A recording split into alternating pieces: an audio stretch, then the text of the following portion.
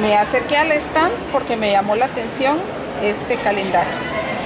Me interesó aprender cómo interpretarlo porque es parte de la cultura de mi país y es importante que tengamos ese conocimiento para poder entender muchas de las cosas que solo las vemos pero no sabemos por qué se ejecutan ni por qué se practican ni y perdemos el interés cuando no tenemos quien nos lo explique detenidamente y, y, eso le resta la importancia de lo que tiene para nosotros como guatemaltecos en, esta, en este país.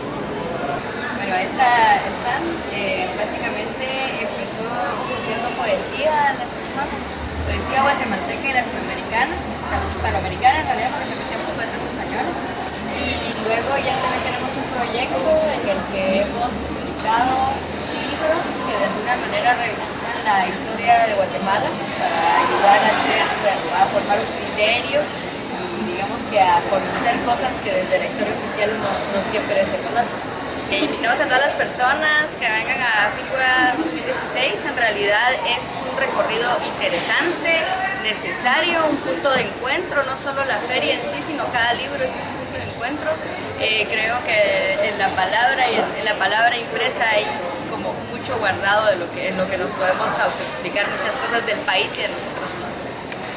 Queremos darles una cordial bienvenida a FILBA 2016, esperamos que nos puedan visitar. Avanza se encuentra en el stand número 30, donde tenemos varios libros sobre las ciencias sociales en Guatemala. Este, entre ellos podemos encontrar sobre el racismo, sobre la migración y tenemos varios libros del padre Falla. Hoy en la tarde lo tendremos presente presentando su libro número 4, Al atardecer de la vida y esperamos que todos nos puedan visitar. O su calco editorial, cuéntanos sobre la producción que tienen ahora en la Filgua 2016. Por ejemplo, hoy eh, tenemos un monos de, de, Pascual Martín Vázquez, un poeta San Martín Chileverde, que es un pueblo de, de Quetzaltenango. Tenemos Pájaro Rojo de Vilma Calderón, que ella nunca había sido publicado en papel y nosotros confiamos en su trabajo. Ella empezó a escribir a los 60 años. Tenemos eh, el libro eh, Modos de captura de la poeta de Palestina de los Altos, Miriam Ochoa.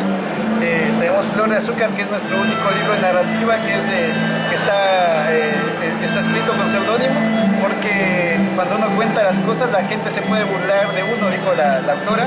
Eh, y tenemos acá a un poeta español llamado Javier Hernández, que para que no vea, pues, para que, para que no diga la gente que no le damos oportunidad a autores de otros lados, tenemos a un poeta español que se nos coló también. Y tenemos aquí al poeta de Sarcajal, Los Laines, algunos de sus textos traducidos al mam y el quechí. Eh, tenemos a Betty, que es otro libro que, publicamos con seudónimo, porque nuestra gente realmente se puede burlar de, de, de, de eso, y como es mujer, tiene unos poemas eróticos que están bien lindos y, ese es el miedo de Betty. Después acá tenemos eh, historias y cuentos del título de Totonicapán, es la eh, tradición oral puesta en el papel, eh, bueno, eh, el otro año esperamos seguir trabajando cosas de los pueblos, que también en eso está enfocado Pequeña su campo editorial. Tenemos acá los libros de un poeta amigo eh, que están traducidos al quechí, que es Manuel Bolón con su libro Primera Palabra. por cada libro que, se lleve en esta firma, digamos, se van a llevar lunas y noches de su otro libro, que solo está traducido, solo está en español o en castellano. Entonces van a encontrar estos, estos títulos. Desde la Feria del Libro les hacemos la cordial invitación para que nos puedan venir a visitar desde el, 20, desde el 14 al 24 del 2016 ya que es un buen hábito eh, poder aprender este, cosas nuevas eh, leyendo, ya que nos trae buenas culturas y buenos hábitos eh, para nuestra vida. Ya que leer alimenta nuestra mente y hace que tengamos muy buena ortografía.